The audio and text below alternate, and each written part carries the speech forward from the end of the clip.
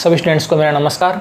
हूँ नवीन सोनी, आप देख रहे हैं Naveen Soni sir chemistry classes तो कल तक हमने सॉलिड स्टेट जो यूनिट है, वो स्टार्ट करी थी, जिसमें मैंने आपको पार्ट फ़र्स्ट और पार्ट सेकंड जो है, वो मैंने करवा दिया था। लास्ट जो टॉपिक था, उसके अंदर मैंने आपको बताया था कि जो क्रिस्टलीय ठोस है क्रिस्टलाइन सॉलिड्स है, उसके चार प्रकार होते हैं। जैसे मैंने एक तो आपको बताया था आणविक ठोस, एक बताया था आयनिक ठोस, एक बताया था धात्विक यानी मेटेलिक ठोस, और एक बताया था सहसंयोजक ठोस, जिसके अंदर मैंने आपको बताया था नेटवर्क ठोस जो है, वो भी उसको कहते हैं। तो जो नेटवर्क ठोस है, उसके अंदर दो टाइप्स थे, जिसके बारे में आज हम चर्चा करेंगे, जिसमें एक तो था स्ट्रक्चर ऑफ़ डायमंड और एक है स्ट्रक्चर ऑफ़ ग्रेफाइट तो यहाँ पर हम जो आज पढ़ने जा रहे हैं वो यहाँ पर है हीरे की संरचना। हीरे की संरचना। स्ट्रक्चर ऑफ़ डायमंड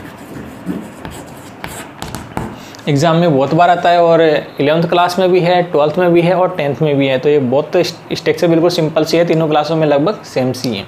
तो इसमें मेन मेन बातें क्या होती है वो बिल्कुल से ध्यान से देखना। हीरे की संरचना में मेन मेन बातें क्या होती हैं? तो सबसे पहली बात, इसमें क्या होता है कि कार्बन जो होता है, एक कार्बन वो दूसरे कार्बन के साथ में कोवेलेंट बॉन्ड जो है उसके द्वारा जुड़ा रहता है। कोवेलेंट बॉन्ड सहसंयोजक बंध। सहसंयोजक बंध कोवेलेंट बॉन्ड के द्वारा जुड़ा रहता है एक कार्बन दूसरे कार्बन के साथ में। दूसरी जो बात इसमें यह है कि एक कार्बन जो होता है वो दूसरे कार्बन के साथ में जब जुड़ा रहेगा सहसंयोजक बंध के द्वारा तो ये अदर कितने कार्बन के साथ जुड़ा रहेगा? तो ये कार्बन कार्बन के साथ जुड़ा रहता है तो एक कार्बन जो होता है वो दूसरे कार्बन के साथ, दूसरे वाला तीसरे के साथ में इस प्रकार से इनमें जो वैलेंसी होती है, वो फुलफिल हो जाती है। यानी एक कार्बन अन्य चार कार्बन परमाणु से एक कार्बन अन्य चार कार्बन जो परमाणु है, उनसे जुड़ा हुआ रहता है। एक कार्बन अन्य चार कार्बन परमाणुओं से सहसंयोजक बंध के द्वारा जुड़ा रहता है। इसके बाद में इसके अंदर बात आती है नंबर तीन, कि एक कार्बन अन्य चार कार्बन के साथ जुड़ा हुआ है तो इसमें हाइब्रिडाइजेशन जो होता है हाइब्रिडाइजेशन हाइब्रिडाइजेशन वो होता है यहाँ पर S P three S P three इसमें हाइब्रिडाइजेशन होता है। नंबर चार जो बात आती है, वो आती है कि हाइब्रिडाइजेशन एस पी थ्री होता है तो इसकी जो ज्योमेट्री होती है ज्योमेट्री वो यहाँ पर होती है टेट्राहेड्रल टेट्राहेड्रल ज्योमेट्री तो हीरा जो है, उसके अंदर टेट्राहेड्रल ज्योमेट्री है, वो पाई जाती है। अगली जो बात होती है, वो आती है इसके अंदर कंडक्टिविटी कंडक्टिविटी कि ये कंडक्टर है या नॉन कंडक्टर है? कि इसके अंदर अब आप देख रहे हैं कि कार्बन जो होता है, एक कार्बन होता है, वो अन्य चार कार्बन के द्वारा कोवेलेंट बॉन्ड के द्वारा जुड़ा रहता है तो इसमें वैलेंसी जो होती है, वो कोई भी खाली नहीं होती है। तो जिसमें वैलेंसी खाली नहीं होगी तो इलेक्ट्रॉनों का फ्लो नहीं हो पाएगा। इसलिए इसकी कंडक्टिविटी जो आएगी, वो आएगा non conductor non conductor non conductor का मतलब हो गया ये, विद्युत जो है, उसका अचालक है। ये अचालक की तरह यहाँ पर व्यवहार करेगा। इसमें चालकता नहीं आएगी, क्योंकि इसके अंतर्गत जो है वो अगला पॉइंट क्या है कि अनपेड इलेक्ट्रॉन जो है, या अपन अनपेड बोल सकते हैं। अनपेड इलेक्ट्रॉन जो है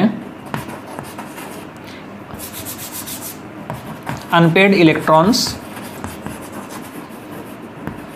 इलेक्ट्रॉन जो है वो अपसेंट है। अनपेड इलेक्ट्रॉन्स जो है वो यहाँ पर अपसेंट है। तो अनपेड इलेक्ट्रॉन इसमें नहीं है, इसलिए क्या हो गया ये? विद्युत का क्या हो सकता है? कुचालक हो सकता है, अचालक हो सकता है, अचालक की तरह ये व्यवहार करेगा। कंडक्टिविटी इसमें शो नहीं होगी। जैसे इसकी स्ट्रक्चर देखी जाए स्ट्रक्चर ऑफ़ डायमंड तो स्ट्रक्चर ऑफ़ डायमंड है, इसके अंदर क्या आएगा कि एक कार्बन अन्य कार्बन के साथ में किस प्रकार से जुड़ा रहेगा? तो इसमें आप देखेंगे इसकी स्ट्रक्चर किस प्रकार से आएगी। इसकी स्ट्रक्चर में क्या होता है जैसे इस प्रकार से एक ये आपको हेक्सागोनल स्ट्रक्चर दिखाई दे रही है षटकोणीय वाले। जिसके अंदर क्या होता है कि इसके नीचे की साइड में आप ऐसा ही और बना सकते हैं। इस प्रकार से। इस प्रकार से नीचे की साइड में बना दिया। और फिर इधर के साइड में भी आप ऐसा ही बना सकते हैं। इस प्रकार से। तो यहाँ पर आप देख रहे हैं कि अभी एक कार्बन अन्य तीन से जुड़ा हुआ दिखाई दे रहा है आपको, लेकिन ये एक फ्रंट की स्ट्रक्चर है। अभी मैंने आपको बताया कि टेट्रा टेट्राहेड्रल ज्योमेट्री जो है वो इसके अंदर पाई जाती है तो टेट्रा टेट्राहेड्रल ज्योमेट्री होगी तो इसकी स्ट्रक्चर है वो थोड़ी सी डिफरेंट दिखाई देगी, जैसे कि ये तीन दो के साथ जुड़ा हुआ है तो ये एक इधर भी जुड़ सकता है, ये इधर भी जुड़ा हुआ है, इधर भी जुड़ा हुआ है। जबकि इसमें मैन टेट्रा टेट्राहेड्रल देखा जाए तो देखिए ये वन टू थ्री है तो ये फोर हो गया, वो यहाँ से हो गया, जो इसके दूसरी साइड में है। इस प्रकार से और ये स्ट्रक्चर है, ये इसके बैक साइड की स्ट्रक्चर है, उसके इधर की, उधर की साइड की। क्योंकि आपको पता है कि हीरा जो होता है, वो किस प्रकार की स्ट्रक्चर लिया होता है, आपको पता है। तो ये इसकी बैक साइड की स्ट्रक्चर होगी इसी प्रकार यहाँ पर ये देखा जाए तो ये इस प्रकार की स्ट्रक्चर आ गई। यहाँ से, और ये वाला जो है वो इसके साथ जुड़ गया, और ये इधर जुड़ा हुआ है। वन टू थ्री और ये जुड़ गया इसके साथ, फोर के साथ। अब यहाँ पर ये इसी प्रकार से और जुड़ जाएँगे। इस प्रकार से। तो आप देख रहे हैं कि वन, टू, थ्री और ये हो गया इसके साथ फोर। तो अभी इसमें देख रहे हैं कि टेट्राहेड्रल ज्योमेट्री जो है वो आई कि नहीं आई? यहाँ पर देखिए वन, टू, थ्री और फोर। तो ये ज्योमेट्री आपको इस प्रकार से दिखाई दे रही है कि इस प्रकार से वन, टू, थ्री और ये फोर जो मैंने वो ऐसे कर दिया। तो ये ज्योमेट्री हो गई, वो हो गई tetrahedral geometry. Tetrahedral. Tetrahedral geometry इसके अंदर प्रेजेंट हो गई है। अब यहाँ पर अगली बात जो आती है, वो ये आती है कि एक कार्बन जो होता है, वो अन्य दूसरे कार्बन के साथ में कितनी दूरी से जुड़ा रहता है, कितनी दूरी पर है ये? तो एक कार्बन दूसरे कार्बन से यहाँ पर एक सौ चौवन पिकोमीटर की दूरी पर स्थित होता है। तो एक सौ चौवन पिकोमीटर की जो दूरी है, उस पर एक कार्बन दूसरे कार्बन से जुड़ा हुआ रहता है। तो ये इसमें आ गया कार्बन कार्बन के बीच की दूरी कितनी है? तो यहाँ पर अगला पॉइंट हम ये भी देख सकते हैं। नंबर सात पॉइंट कि कार्बन कार्बन के जो बीच की दूरी है वो यहाँ पर है एक सौ चौवन पिकोमीटर ये इसके अंदर कार्बन कार्बन के बीच की दूरी है और टेट्राहाइड्रल ज्योमेट्री मैंने बता दी स्ट्रक्चर इस प्रकार से होती है और टेट्राहाइड्रल ये ज़रूर ध्यान रखना है कि यहाँ पर ऐसा बनाने के बाद इसके बैक साइड में भी आपको स्ट्रक्चर बनानी है तो इसको बोलते हैं टेट्राहाइड्रल ज्योमेट्री इसके बाद में क्या होता है, इसके कुछ यूजेज आते हैं. जैसे ये आ गया यूजेज इसके यूज़ क्या है?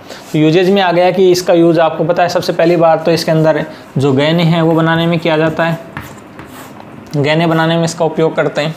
ठीक है, ये तो आपको सबको पता है। इसके अलावा जो कांच होता है, उसको काटने में इसका उपयोग किया जाता है। जो कांच होता है, उसको कांच को काटने में इसका उपयोग किया जाता है। कांच को काटने में करते हैं। इसके अलावा जो आपने देखा होगा ड्रिल मशीन होती है। ड्रिल मशीन के जो आगे बिट आता है, उस बिट के अंदर जो नोक आती है जिससे आप होल करते हो तो वो हीरे की बनी होती है, वो नहीं होगा तो होल नहीं होगा। तो बिट बनाने में इसका उपयोग किया जाता है। बिट बनाने में, जो ड्रिल मशीन है, उसकी बिट बनाने में इसका उपयोग किया जाता है। इसके अलावा जो ग्राइंडर होता है, ग्राइंडर, उस ये ग्राइंडर होता है, इस ग्राइंडर के ऊपर जो आप पत्ता देखते हो तो इसके ऊपर यहाँ पर एक लेयर होती है। वो लेयर धीरे धीरे कम हो जाती है तो ग्राइंडर चलना बंद हो जाता है। तो ये लेयर जो है, ये क्या होती है? हीरे की बनी होती है।